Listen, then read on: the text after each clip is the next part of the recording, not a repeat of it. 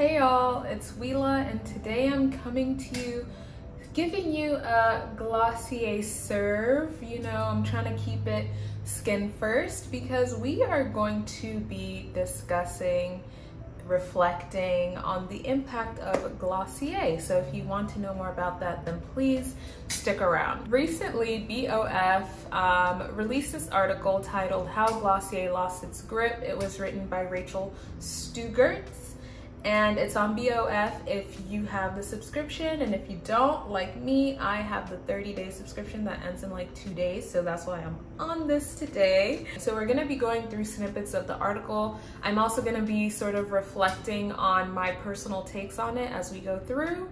And that's just that's just how we're gonna do it okay? When glossier launched in 2014 it was entirely new both in its messaging be you just dewier and then and its direct to consumer sales strategy. I actually just want to halt right there. Um, so Glossier began in 2014 by Emily Weiss. She had a beauty blog, lifestyle blog called Into the Gloss.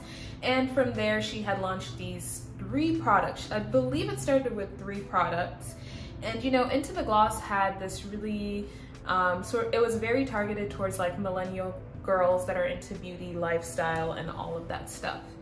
Now, I kind of want to set the scene before Glossier, you know, before this whole wave that we're seeing in beauty. Makeup in 2014, 2015, beat, slay, beat, slay, beat, slay, bake, beat, slay, bake, okay? Everything was beat and slayed down okay? Like you had to, you had the contour and concealer arithmetic okay? You had to do like PEMDAS here and have a trapezoid here so that you know it could really give you a snatched angle. Everything had to be snatched. Brow was snatched. Brows on fleek do you all remember brows on fleek?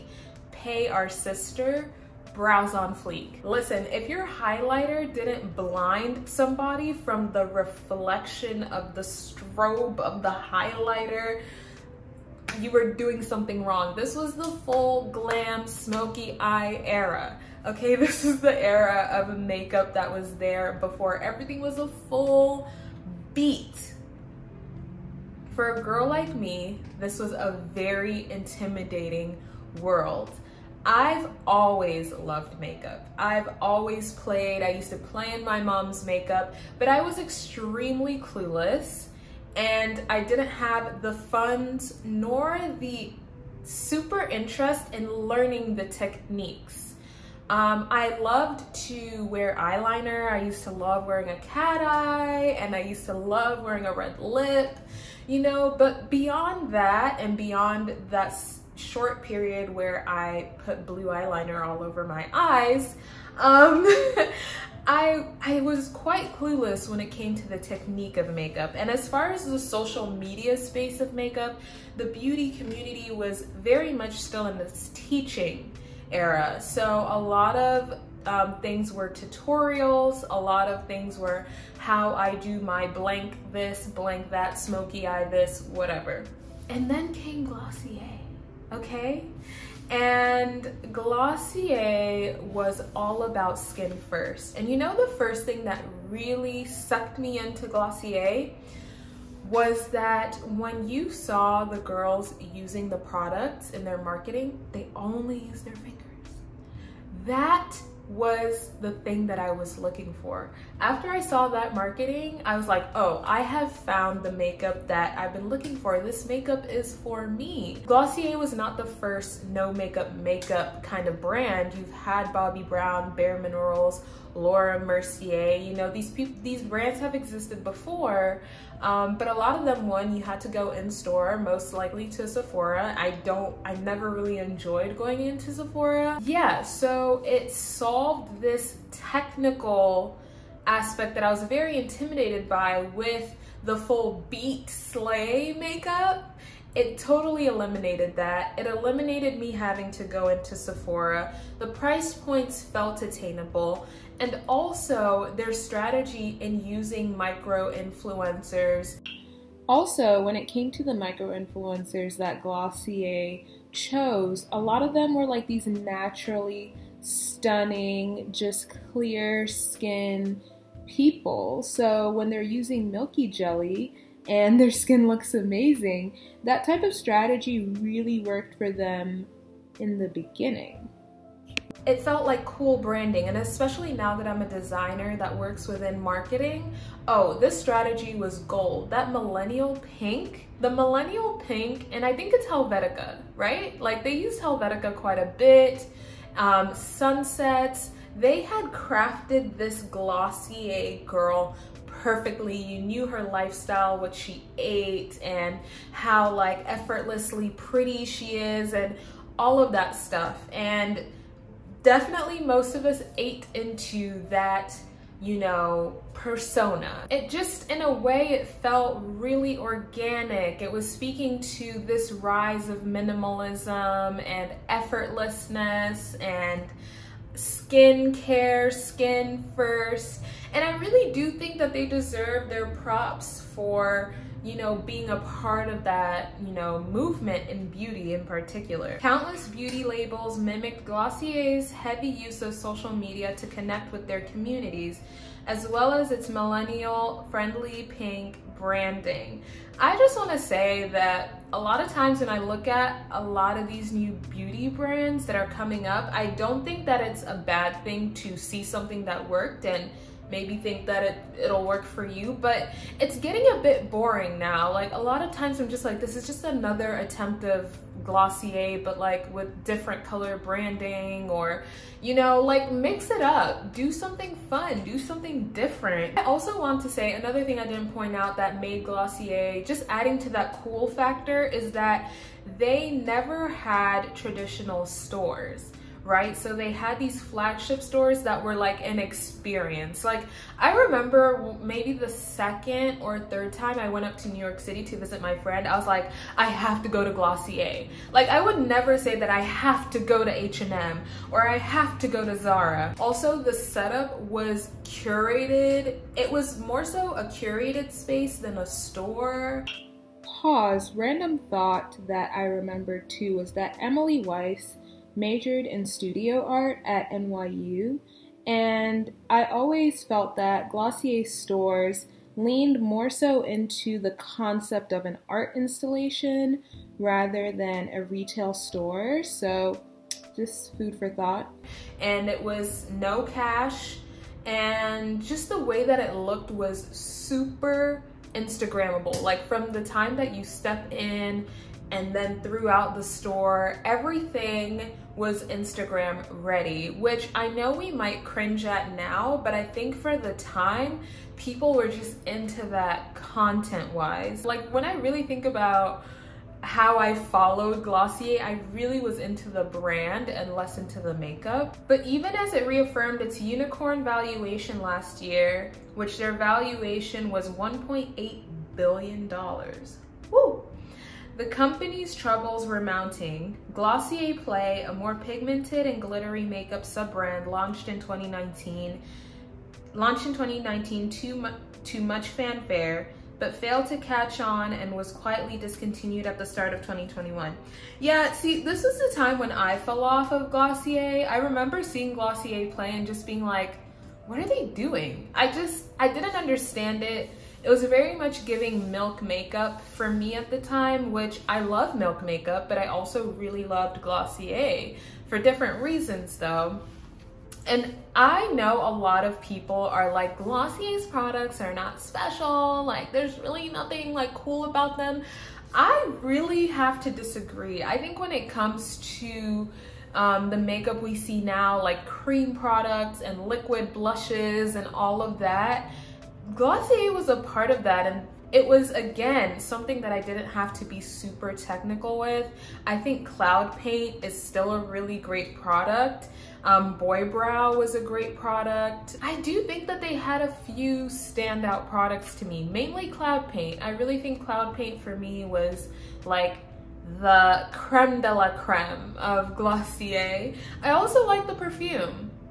And not only that, but they would also, you know, sell these hoodies or water bottles or whatever. Again, going back to that strategy. But I do think that they have products that are well priced for the market that they're trying to target. In August of 20 in August 2020, Out of the Gloss, a collective of anonymous former retail employees, emerged to challenge the brand's welcoming image.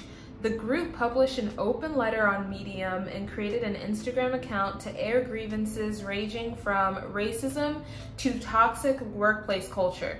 Now, I remember when this was happening, I believe this was like the, I don't even know which wave of BLM this was at the time.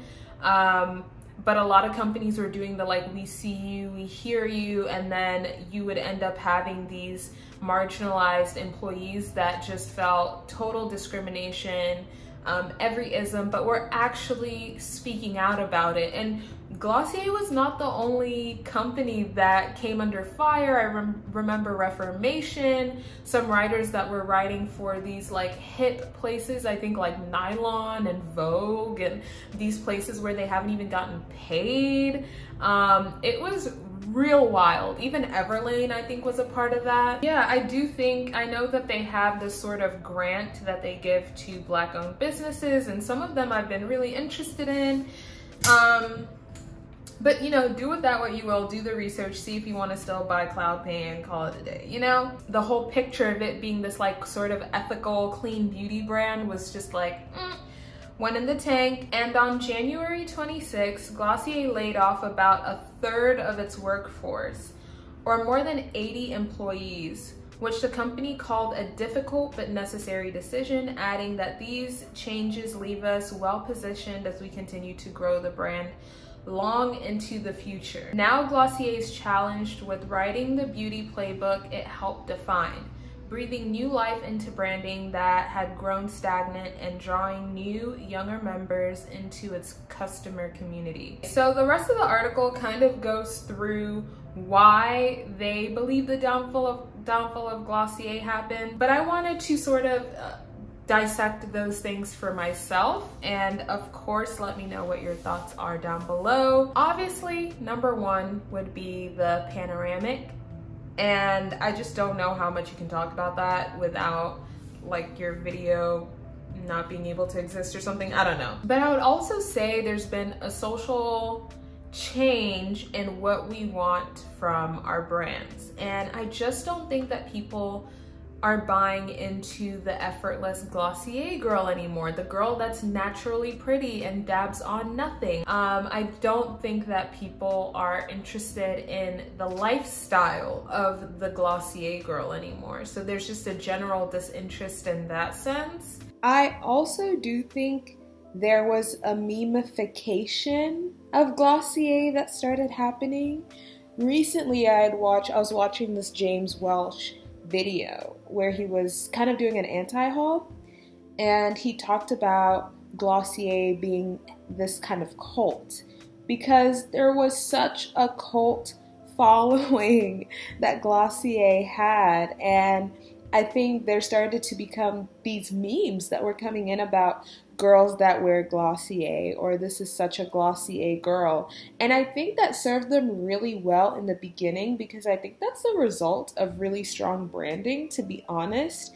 But there started to also become this Glossier fatigue again because, like, most of these Glossier girls were just naturally stunning you know, didn't really have a job but had a fabulous apartment. Like, you know what I'm talking about. You know what I'm talking about you know, and aspirational marketing just isn't the thing right now. Like, you know, there's havoc in the world.